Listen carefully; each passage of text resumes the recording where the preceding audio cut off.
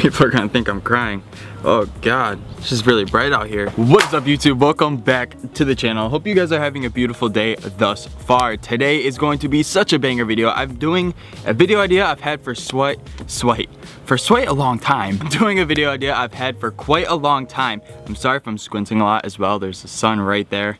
It's really bright. But anyways, today, if you guys couldn't tell from the title and thumbnail, we are going to be seeing if Flex Tape, the tape of Flex, the tape where Phil Swift approves of its durability. Hi, Phil Swift here for Flex Tape. But long story short, what we're going to be doing is we're going to be cutting an old frame I have directly in half. This is a frame where I've already cut into it for a recent video where I cut open a 30 year old frame and compared it to this new frame. Look at that insane. We're gonna cut the frame in half and then we're gonna flex tape it back together and hopefully that the bike is still rideable afterwards. I've seen a whole bunch of videos of people using flex tape for boats, for, I've seen many YouTube videos of people using flex tape in some extraordinary ways and it looks incredibly strong and I've used it myself for patching a tube and it looks, it seems like it would work. So without further ado, we're going to head over to Target and get this flex tape.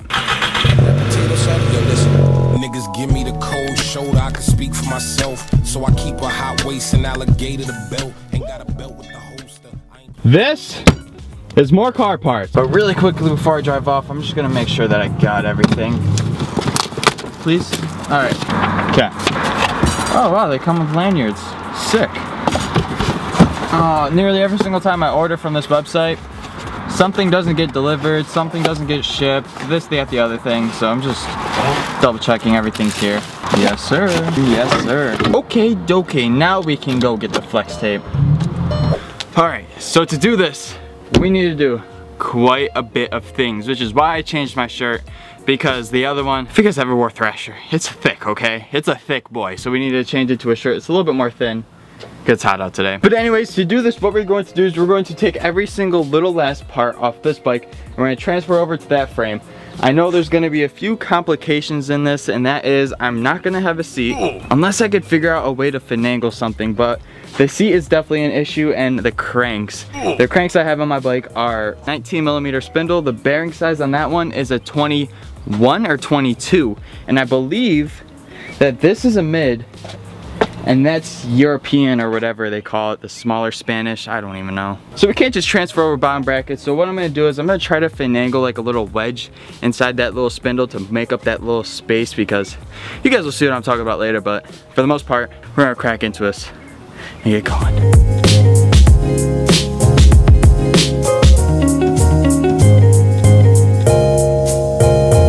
We have figured out our seat problem. I found like an old ragtag seat in the garage so we're going to uh, slip this bit boy on.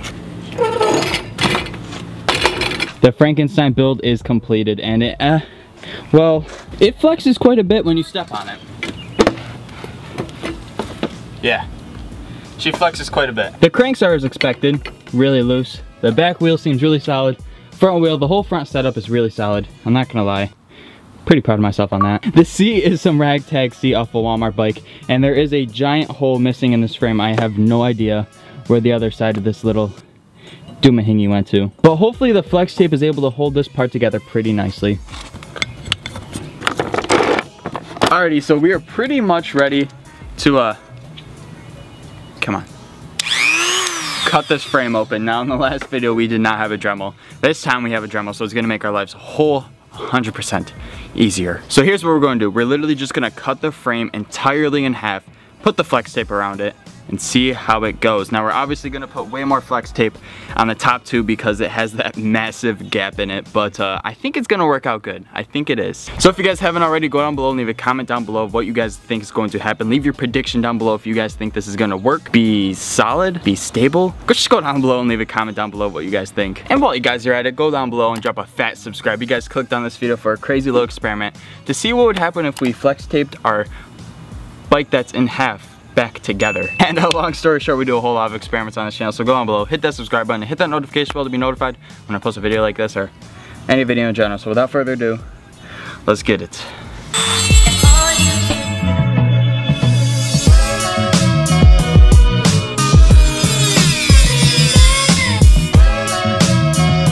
And bam, just like that, she is cut and completed. So now the next step is to grab the flex tape that is over here, all the way over here, in here. All right, now we can open this bad boy. And bam, there she is. Now the only next step is to uh, tape my frame. This might be easier if we just flip these over.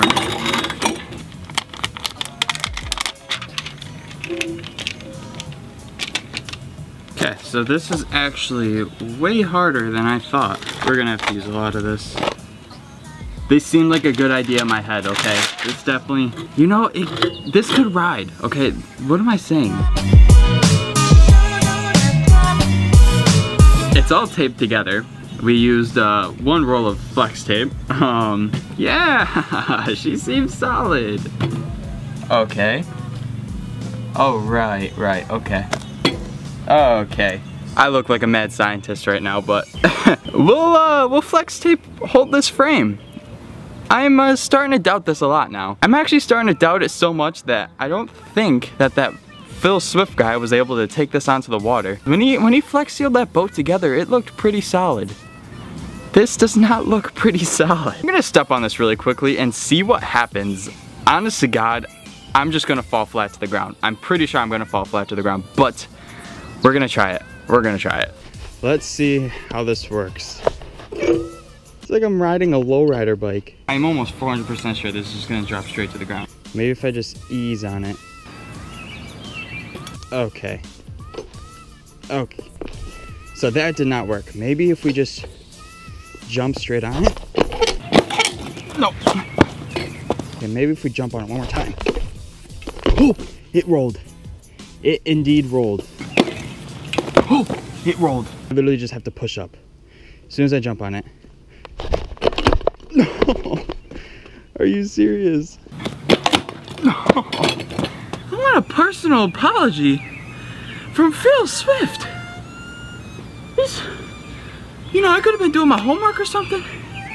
But no. So it looks like the actual flex tape just ripped right on off. So as you guys can see in this clip right here, we were actually able to ride the bike for like a foot, maybe even two feet. Now just based on that foot, that little foot of the amount it rolled, it definitely seems like it could hold up pretty strong if we do a better job at this and if we don't have a giant gap in the top tube and along with the fact that there's not a whole bike in half. This definitely could be a great alternative than going to a shop and having your bike welded and re-welded if your frame ever cracks. This seems like if you ever get a crack in your top tube or wherever, if you put flex tape on it, I think it could last a little bit longer and save you a whole bunch of money instead of having your frame welded or even buying a new frame. Now, of course, this is not going to allow your frame to last forever with that giant crack, but it will allow you to get a little bit more life out of that frame.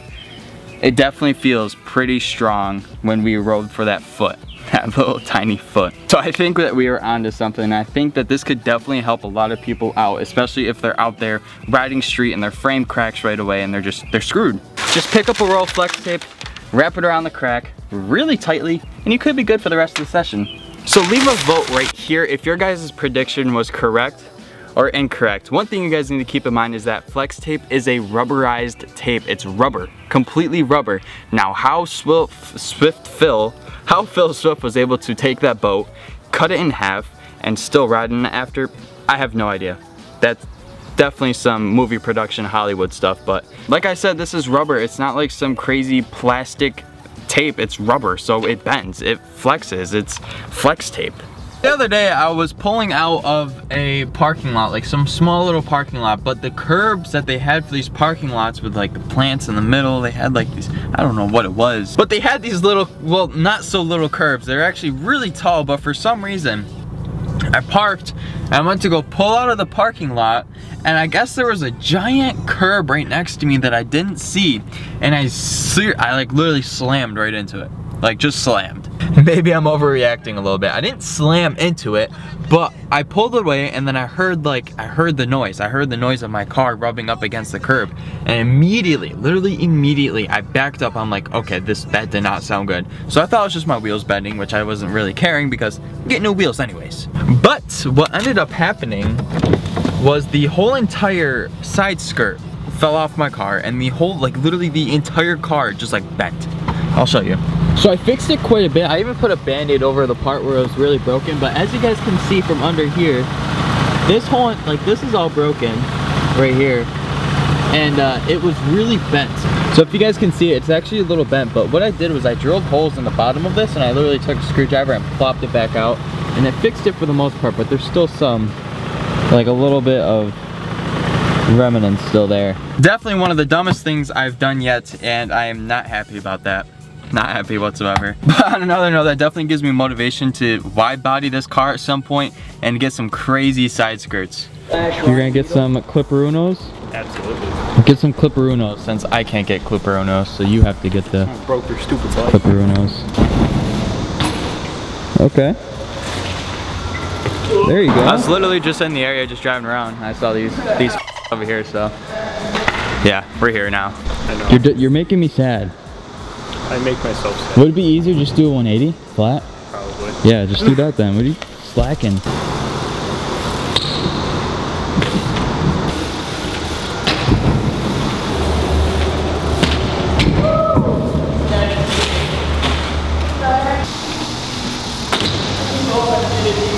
Okay. Keep it. Ah.